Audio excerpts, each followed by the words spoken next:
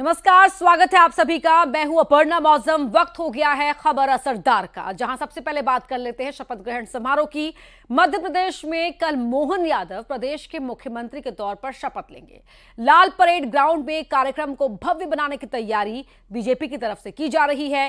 कार्यक्रम में पीएम नरेंद्र मोदी के अलावा अमित शाह और बीजेपी के राष्ट्रीय अध्यक्ष जेपी नड्डा शामिल होंगे। ये पूरी रिपोर्ट देखिए। एमपी के नए मुख्यमंत्री के शपथ ग्रहण के लिए लाल परेड ग्राउंड का मोतीलाल नेहरू स्टेडियम तैयार हो रहा है। दोपहर 12 बजे मोहन यादव के साथ ही दोनों डेप्यूटी सीएम, यानी राजेंद्र शुक्ला और जगदीश देवड़ा शपथ लेंगे। इसके अलावा कुछ मंत्रियों को भी शपथ दिलाई जा सकती है। तमाम जो तैयारियाँ हैं, अब उनको अंतिम रूप दिया जाने लगा, जिस तरीके से कल मुख्यमंत्री के नाम का ऐलान हुआ और उसके बाद कल रात को ये डिसाइड हुआ कि तेरह तारीख को, यानी कल छत्तीसगढ़ में भी है और मध्य प्रदेश में भी कल शपथ ग्रहण होगा। शपथ ग्रहण कार्यक्रम में बीजेपी के कई दिग्गज नेता शामिल हो सकते हैं।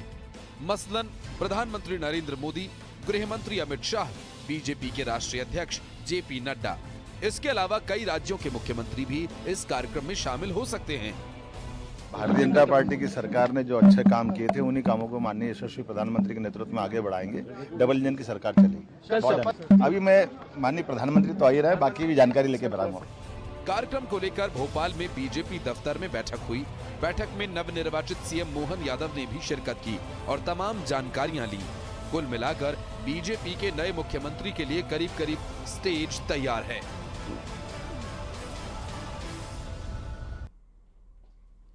मध्य प्रदेश में मुख्यमंत्री और दो डेप्यूटी सीएम के नाम का ऐलान हो चुका है। ऐसे में मोहन यादव के मंत्रिमंडल में कौन कौन चेहरा होगा, इसके भी कयास लगाए जाने लगे हैं। कुछ संभावितों के नाम को लेकर चर्चा हो रही है। कौन कौन से वो नाम है, इस रिपोर्ट में जानिए। मोहन यादव को मध्य प्रदेश की कमान मिलने के बाद अब मंत्रियों पर सस्पेंस बना हुआ है। मोहन यादव कैबिनेट में कुछ संभावित मंत्रियों के नाम सियासी गलियारे में चर्चा में हैं। मसलन, एंदल सिंह कसाना, प्रद्युम्न सिंह तोमर, भूपेंद्र सिंह, गोविंद सिंह राजपूत,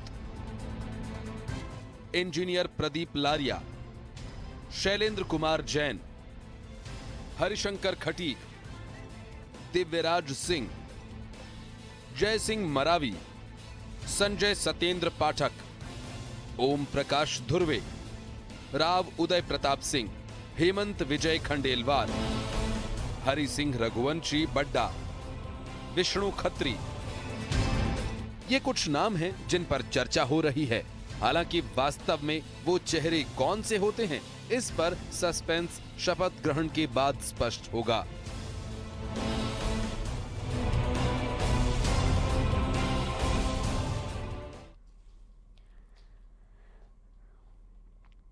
तो मध्य प्रदेश के साथ साथ कल छत्तीसगढ़ में भी शपथ ग्रहण समारोह है। छत्तीसगढ़ में विष्णुदेव साय के सीएम चुने जाने के बाद शपथ ग्रहण समारोह को लेकर तैयारियाँ तेज हैं। बुधवार यानी 12 दिसंबर को दोपहर दो बजे साइंस कॉलेज ग्राउंड में नई सरकार का शपथ ग्रहण समारोह होगा।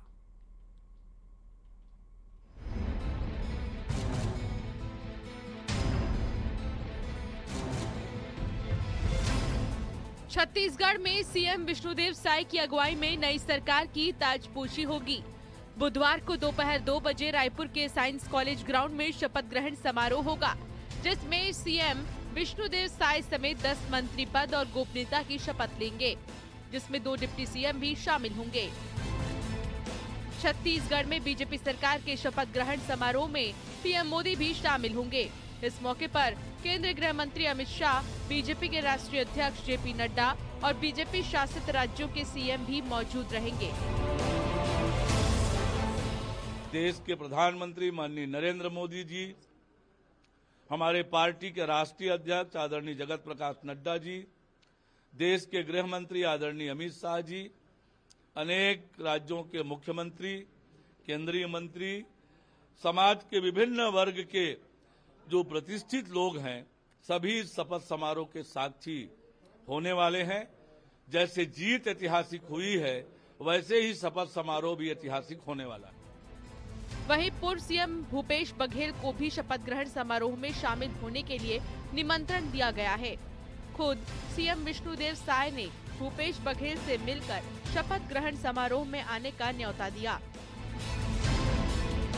बहरहाल, लंबे इंतज़ार के बाद आखिरकार 13 दिसंबर को छत्तीसगढ़ में नए मंत्रिमंडल का गठन हो जाएगा। पाँच साल बाद छत्तीसगढ़ में बीजेपी ने वापसी कर ली। अब उनके सामने चुनौती होगी अपने घोषणा पत्र को पूरी करने की, जिसकी उम्मीद प्रदेश की जनता ने लगा रखी है। Bureau report, news 18 Raipur. Chhattisgarh की राजनीति और सरकार में बिलासपुर का दबदबा रहा है। एक बार फिर छत्तीसगढ़ में पाँच साल के वनवास के बाद राज्य की सत्ता में भारतीय जनता पार्टी की वापसी हो गई है, जहाँ पूर्व केंद्रीय मंत्री और पूर्व प्रदेश अध्यक्ष विष्णुदेव साय के हाथों में राज्य की कमान सौंप दी गई है। साय के सीएम बनने के बाद प्रदेश मंत्रिमंडल में शामिल होने वाले चेहरे को लेकर भी अटकले गर्म है, जिसमें बिलासपुर ज़िले से अमर अग्रवाल, धर्मलाल कौशिक और भी नाम चर्चाओं में हैं।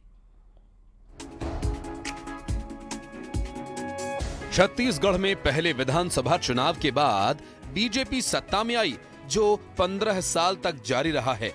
साल 2003 से 2013 तक बीजेपी छत्तीसगढ़ में सत्ता में रही।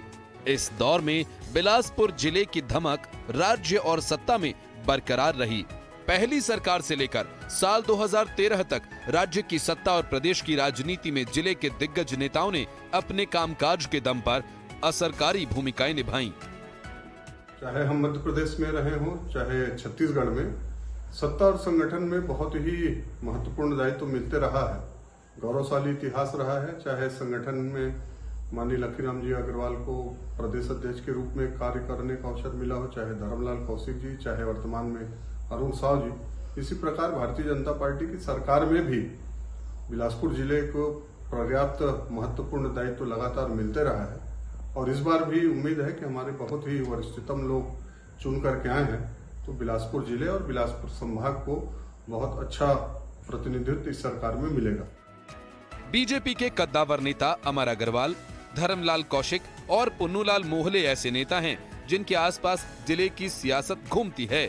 सत्ता के केंद्र में तीनों की बराबरी की भागीदारी रही है। तीनों नेताओं के बीच आपसी समझदारी और सामंजस्य ऐसा है कि समर्थक कार्यकर्ता हो या फिर प्रशासनिक अफसर अपने हिसाब से काम कर लेते हैं और सत्ता से लेकर संगठन तक अपनी धमक भी बनाए रहे हैं। देखिए, कांग्रेस सरकार में जो उपेक्षा हुई है, उसको तो कांग्रेस के यहाँ के विधायक को पाँच साल झंडा फहराने भी नहीं दिया। और जो बंगल से झंडा फहराने आई वो भी चली गई कि बेजा कब्जा नहीं करना चाहिए, अधिकृत कब्जा रहना चाहिए। तो बेजा कब्जा किए तो जनता ने उसकी भी विदाई कर दी। लेकिन मैं ये कहना चाहता हूँ कि हमारे प्रदेश, छोटा सा प्रदेश है, सरगुजा से लेकर के बस्तर तक सारे हमारे उसमें समाहित होंगे। जाति समीकरण है, हमारे भौगोलिक स्थिति है, राजनीतिक स्थिति है।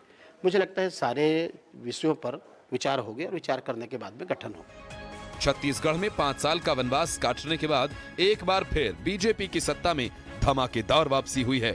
प्रदेश की सत्ता में एक बार फिर बिलासपुर ज़िले की भागीदारी को लेकर चर्चा तेज हो गई है। ऐसे में बिलासपुर के लोगों के साथ साथ पूरे प्रदेश की निगाहें मंत्रिमंडल पर है। Umesh Maurya, news eighteen Bilaspur. और अब एक बार फिर से बात करते हैं मध्य प्रदेश में जो मुलाकातें हो रही हैं। उन तस्वीरों की भी। मोहन यादव का नाम बतौर मुख्यमंत्री आने के बाद से ही मुलाकातें का मुलाकातों का सिलसिला जारी है। मोहन यादव ने नरोत्तम मिश्रा से मुलाकात की, जबकि कमलनाथ ने मोहन यादव से मुलाकात कर उन्हें बधाई दी।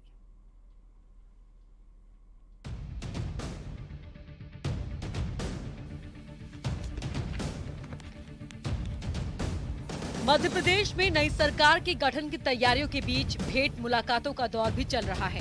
मोहन यादव पूर्व गृह मंत्री रहे नरोत्तम मिश्रा के आवास पहुँचे और उनसे मुलाकात की। नरोत्तम मिश्रा ने उनको मुख्यमंत्री बनने पर बधाई दी।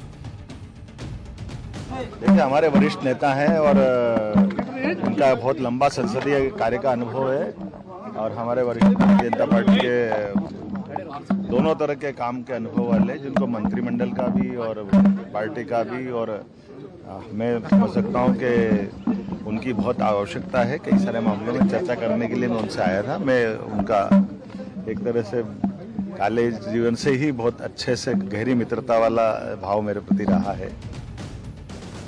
इससे पहले पीसीसी चीफ कमलनाथ मोहन यादव से मुलाकात करने पहुँचे।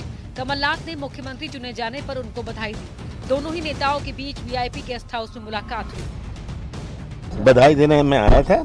मैंने कहा था मध्य प्रदेश के विकास के लिए जो हमारा योगदान होगा हो, ज़रूर होगा। आगे क्या रणनीति रहेगी सर विपक्ष के तौर पे? विपक्ष जो विपक्ष का जो कर्तव्य होता है विपक्ष रक्षा करेगा मध्य प्रदेश के मतदाताओं की मध्य प्रदेश के भविष्य की। सर मध्य प्रदेश की कमान कांग्रेस की आप ही संभालेंगे? अब ये सब बात सोच रहे हैं सबसे चर्चा कर रहा हूँ मैं। इस बीच बीजेपी के दिग्गज नेता उमा भारती से भी मोहन यादव ने मुलाकात की। इससे पहले कल मोहन यादव ने शिवराज सिंह चौहान से घर जाकर मुलाकात की थी और उनका आशीर्वाद लिया था। मुलाकातों और बधाइयों का ये दौर आने वाले वक्त में भी जारी रहेगा। और ये सियासत का संस्कार है, जहाँ पक्ष और विपक्ष दोनों सुर बधाई के लिए एक हो जाते हैं।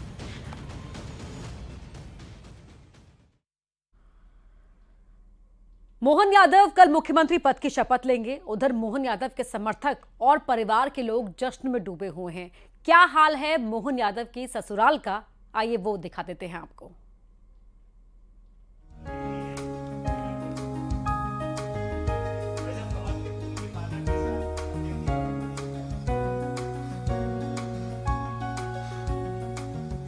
मोहन यादव के मुख्यमंत्री बनाए जाने की सूचना के बाद से एक तरफ़ समर्थक जश्न मना रहे हैं तो दूसरी तरफ़ उनके ससुराल सुल्तानपुर में भी जश्न है। ससुराल वालों ने एक दूसरे को मिठाई खिलाकर बधाई दी। नगर कोतवाली के डिहवा मोहल्ले के रहने वाले ब्रह्मदीन यादव की बेटी सीमा यादव की शादी मोहन यादव से हुई है। मोहन यादव के ससुर ने इसे ईश्वर का आशीर्वाद कहा। भाग्य भगवान की है नहीं तो उत्तर प्रदेश के निवासी। उज्जैन में जाके शादी करते हैं। कौन जाता है वहाँ शादी करने? ल- लड़की ने टी एस कॉलेज से एम ए पास किया था। और वो वहाँ विद्यालय परिषद का काम करती थी लड़की भी वो स्वयं विद्यालय परिषद का विद्यार्थी परिषद का काम करती थी।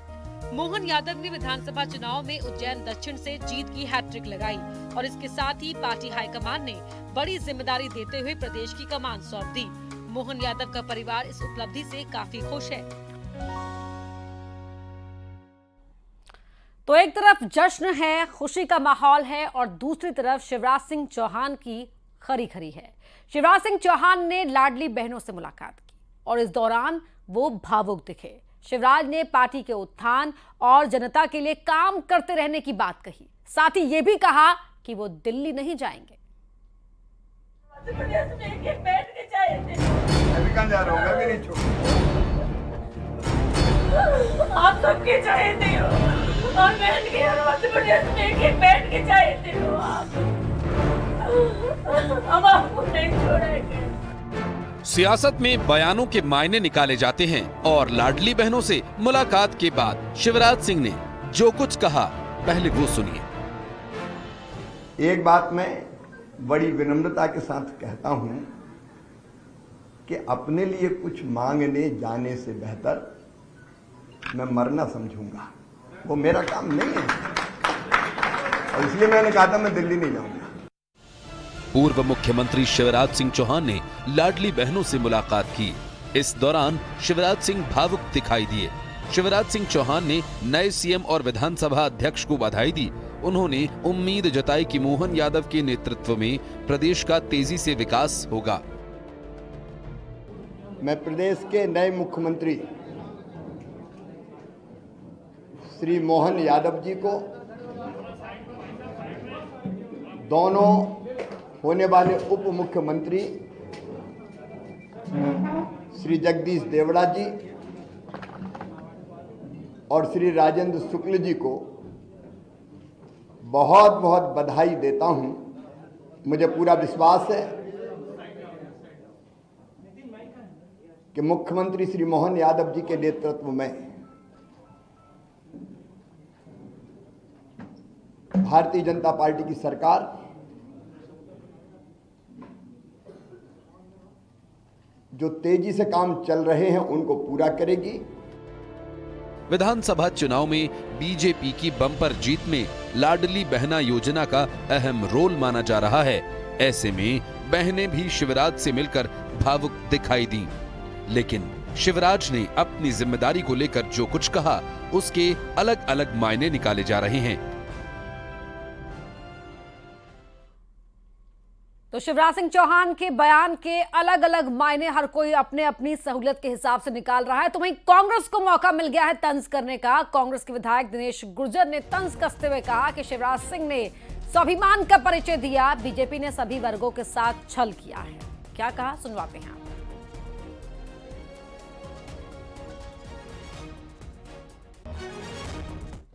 जो आदमी यहाँ मध्य प्रदेश में इतने दिनों से काम कर रहे हैं उनको विश्वास में ना लिया जाए, और लिया है, नहीं लिया, ये उनकी पार्टी का विषय है। पर उन्होंने जो कहा है तो एक ओबीसी के आदमी को स्वाभिमान होता है।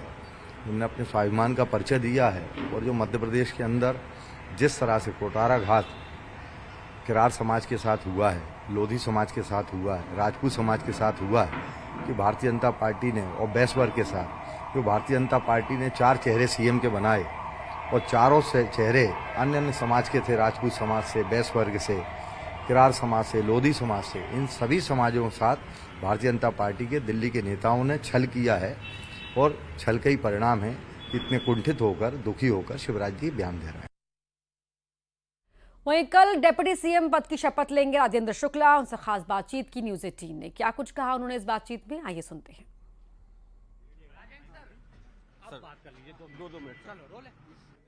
सीएम भी बनाएँगे राजेंद्र शुक्ल जी को भी डिप्टी सीएम बनाएगा उनसे बात करने की कोशिश करेंगे। सर अ, सर किस तरह की उम्मीद थी आप लोगों को?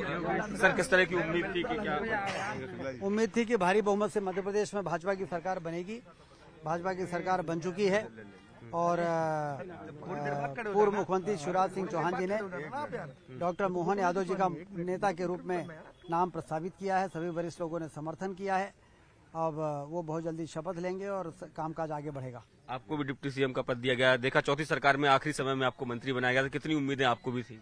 अब कल शपथ ग्रहण हो जाए तब सारी स्थितियाँ स्पष्ट होंगी और फिर मैं आपके सवालों का जवाब दूँगा।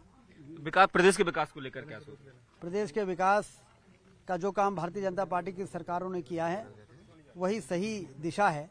वही सरकार का नैतिक दायित्व है जो भारतीय जनता पार्टी की सरकार ने किया। सुशासन और कुशासन में क्या अंतर होता है, ये भाजपा की सरकार ने प्रदेश और देश की जनता को बताने का काम किया है। हम इसी सुशासन को आगे बढ़ाएँगे और मध्य प्रदेश को हिंदुस्तान का सबसे बेहतर जिला बनाने का जो लक्ष्य है, उसको पूरा करेंगे। तो ये ये राजेंद्र शुक्ल जी इनका साफ़ तौर पर ये कहना है कि मध्य प्रदेश को बेहतर मध्य प्रदेश बनाने का प्रयास जो है, वो ये सरकार करेगी। कैमरामैन दीपक कुमार के साथ सैलेंस सिंह न्यूज़ एटीन, भोपाल। तो वहीं सीधी से बीजेपी विधायक रीति पाठक से भी खास बातचीत की न्यूज़ एटीन की टीम ने। आइए सुनते हैं। निर्वा, नव निर्वाचित विधायक रीति पाठक यहाँ पर मौजूद है। हम बात करते हैं आपको नए सीएम चुन के बधाई जी आपको भी बहुत बहुत बधाई मध्य प्रदेश को बधाई भारतीय जनता पार्टी का धन्यवाद नरेंद्र भाई मोदी जी का धन्यवाद हमारे सभी वरिष्ठ वरिष्ठों का धन्यवाद वरिष्ठ संगठन का धन्यवाद भारतीय जनता पार्टी का धन्यवाद कि सरल सरल व्यक्तित्व के धनी आदरणीय डॉक्टर मोहन यादव जी को हमारे प्रदेश के मुख्यमंत्री के रूप में हम सभी को सौंपा है और उनके नेतृत्व में काम करने के लिए हम सभी इस बार कार्यकर्ता इस बार लाडली बहना ने भरपूर वोट दिया। अ, इस बार मंत्रिमंडल में भी एक चर्चा है कि इस बार महिला ने बहनों ने बहनों ने हमेशा अपनी ज़िम्मेदारी का निर्वहन किया है। हमेशा। सिर्फ़ इस बार नहीं इस बार तो लाडली बहना के रूप में वो हमारे साथ आई हैं। लेकिन आपने देखा कि 27 साल से पुराना लंबित हमारा विधेयक महिला सशक्तिकरण जब हमारे लोकसभा में पास हुआ तो उसके बाद एक अलग उत्साह बनकर हमारे पूरे प्रदेश में पूरे देश में बहनों ने अपना अपने उत्साह को दिखाया और उन्होंने कहा कि भाई अब हमारे में आत्मविश्वास दुगनी क्षमता में कूट कूट कर आ गया है। इसलिए उन्होंने अपनी ज़िम्मेदारी से लेकर लाडली बहना हो या एक नई आत्मविश्वास से भरपूर हमारी लवरेज हमारी बहनें हों उन्होंने अपनी ज़िम्मेदारी इस बार मंत्रिमंडल के लिए आपका भी नाम सबसे आगे है। मेरा नाम कार्यकर्ता के रूप में सबसे आगे है और आगे रहे और मुझे लगता है कि ये सबसे बड़ी उपलब्धि है। पार्टी कोई ज़िम्मेदारी देगी तो? वो अलग बात है। वो तो भारतीय जनता पार्टी निर्णय है। हर ज़िम्मेदारी के साथ हम सब चल तो देखिए अब विधायक रीति पाठक कह रही है कि पार्टी अगर कोई ज़िम्मेदारी देगी लेकिन उनके लिए सबसे बड़ी ज़िम्मेदारी है कार्यकर्ता की है। कैमरामैन खिलान के साथ शैलेंद्र चौहान न्यूज़ एटीन भोपाल। और अब रुक कर लेते हैं कुछ दूसरी खबरों का। खंडवा से बड़ी खबर आपको बता रहे हैं, जहाँ एक मासूम के साथ गलत हरकत करते हुए कैमरे में एक शख्स रिकॉर्ड हुआ है। बच्ची के साथ गंदी हरकत की है। ये वीडियो सोशल मीडिया पर वायरल हो गया है। खंडवा के मोघट थाना क्षेत्र का मामला है। आरोपी की तलाश पुलिस कर रही है। तो वहाँ लगे कैमरे में रिकॉर्ड हुई है इस युवक की करतूत। इसने बच्ची के साथ गलत हरकत की है और अब पुलिस इस बच्ची को, इस बच्ची के साथ गलत हरकत करने वाले इस शख्स की तलाश कर रही है। तो खंडवा से ये खबर आपको बता रहे हैं, जहाँ पुलिस को तलाश है उस युवक की जिसने एक मासूम के साथ गंदी हरकत की है और उसका सबूत भी वहाँ लगे कैमरे में रिकॉर्ड हुआ है।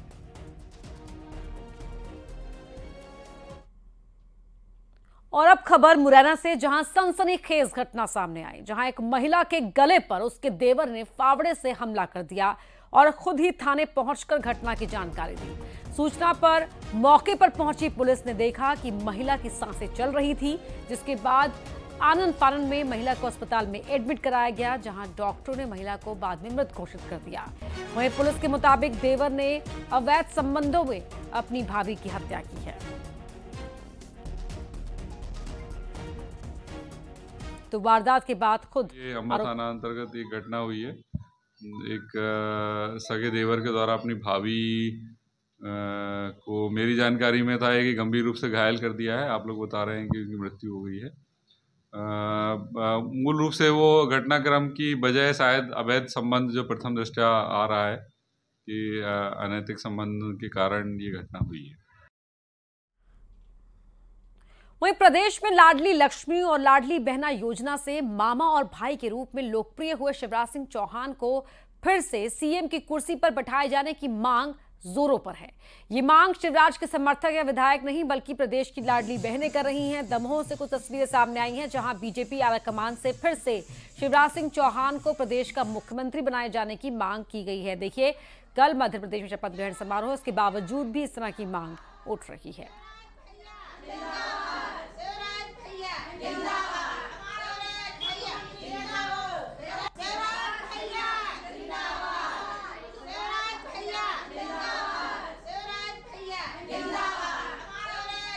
हम लोग ये चाहते हैं कि हमारा भैया शिवराज वापस नहीं आएगा तो हम लोग धरना पर बैठ जाएँगे, अनशन पर बैठ जाएँगे। खाना पीना सब कुछ छोड़ देंगे, अपना घर परिवार भी छोड़ देंगे, लेकिन हम लोग चाहते कि हमारा सीएम मुख्यमंत्री सिर्फ़ शिवराज सिंह चौहान होना चाहिए, क्योंकि उनके पीछे हमारे परिवार में हमारी इज़्ज़त बढ़ी है, हमारा मान सम्मान बढ़ा है। लोग शिवराज सिंह भैया के लिए बुलाना, दोबारा बुलाना चाहते हैं, उनके लिए उन्हीं को उन्हीं को वोट दी थी और उन्हीं के लिए हटा दिया है। हम लोग के लिए बहुत दुख हुआ है, इसलिए हम लोग ने सुंदरकांड या हमारे भैया के लिए बोला, उन्हीं को वोट दी है हम लोग ने। हम लोग ने किसी को नहीं हम उन्हें- उन्हीं के प्रति वोट दी है। उन्हीं को पद पे रहना है पद पे से हटाना नहीं चाहिए क्योंकि हम और लाडली योजना निकाली है सब सुविधा दी है। इसलिए हम लोग उस उनको पद पे से नहीं हटा सकते। पद पे से क्यों हटाया गया है? उन्हीं को पद पे वापस ले आए।